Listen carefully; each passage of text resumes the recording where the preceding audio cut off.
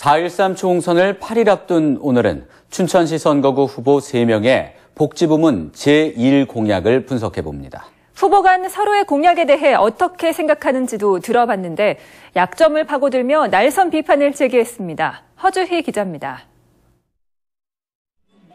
새누리당 김진태 후보는 복지 분야 최우선 공약으로 누리과정 문제 해결을 꼽았습니다.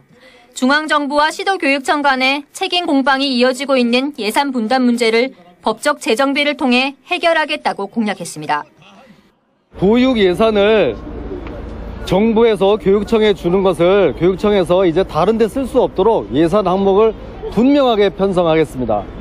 이 공약에 대해 더불어민주당 허영 후보는 중앙정부의 예산 증액이 따라오지 않으면 시도교육청의 우선순위 사업이 뒤로 밀릴 수밖에 없다고 비판했습니다.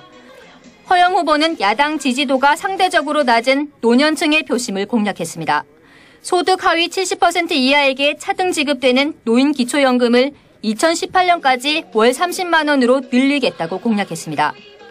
노인분들께 기초연금 20만 원에서 기초연금 누구나 공평하게 30만 원을 들여서 편안한 노후 생활을 즐기실 수 있게끔 하겠습니다.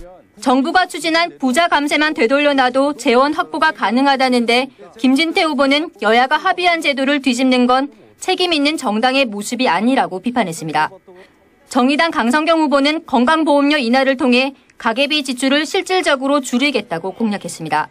지역가입자들의 건강보험료를 인하여 가계비 지출을 줄여서 실질적인 도움이 되도록 하겠습니다. 증세를 통해 복지를 강화하겠다는 건데 막대한 예산이 들어 실현 가능성에 의문이 제기되고 있습니다. 후보들마다 각종 공약을 내놓고 있지만 구체적인 재원 확보 방안은 찾아볼 수 없습니다. MBC 뉴스 허주입니다.